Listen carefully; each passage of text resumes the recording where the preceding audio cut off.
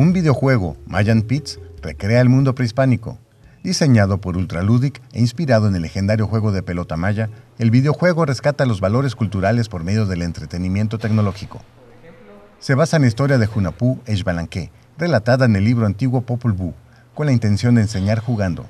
Mientras historiadores y arqueólogos definen si era un deporte o una justa en la que se apostaba la vida de los jugadores o un ritual místico que probaba la fuerza y destreza de los competidores, los usuarios del Mayan Pits deben tomar el papel de los guerreros, quienes a su vez deben derrotar a los señores de Chivalba, ubicados en varios sitios de México y el norte de Centroamérica.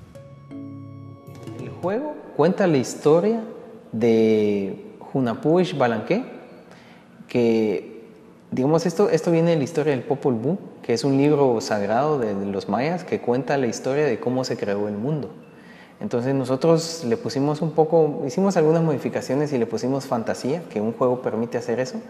Y entonces en el juego tú tienes que ir derrotando a cada dios del inframundo hasta llegar a enfrentar a Xibalbá, que es el, digamos, como el, más malo. y, si logras eso, eh, y Xbalanque se convierten en el sol y la luna. La idea de este videojuego se vio hecha una realidad en siete meses, cuidando todos los detalles y un vínculo entre la fantasía y la realidad.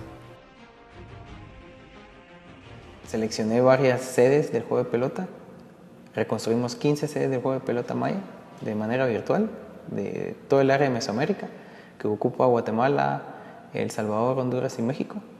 Eh, y colocamos solo sedes donde existe actualmente juego de pelota.